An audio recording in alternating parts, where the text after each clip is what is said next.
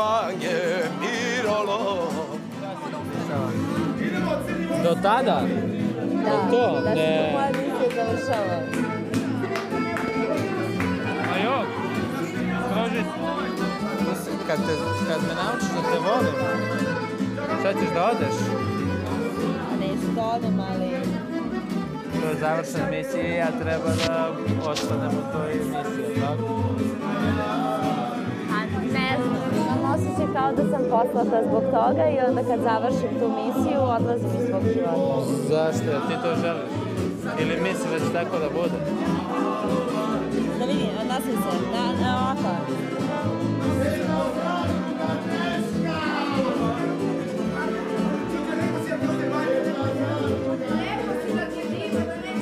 Znaš, kada se misija završi igrica, to je to.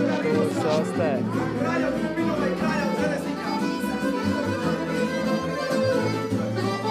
Ja nemam namera da idem dalje.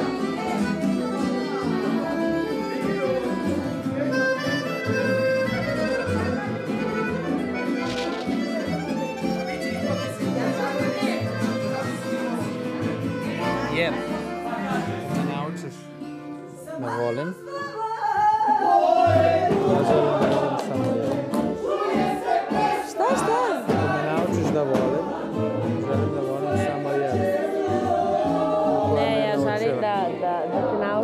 voliš i onda da svaku sledeću voliš.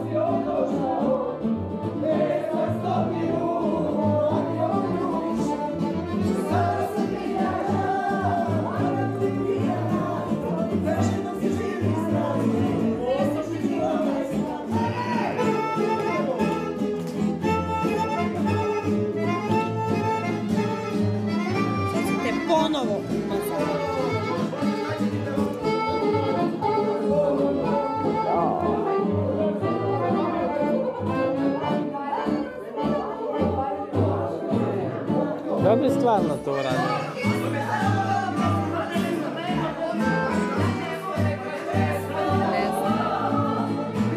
Zašto ne bi?